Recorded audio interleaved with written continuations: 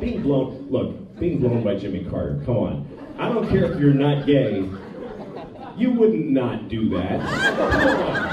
If somebody really convinced you, you seriously go in that room and Jimmy Carter will suck your dick. And you open the door and he's like, yeah, I will. Will.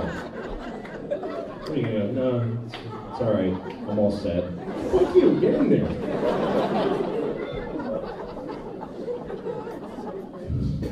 All right, that's not comedy material. That's just that's just obnoxious.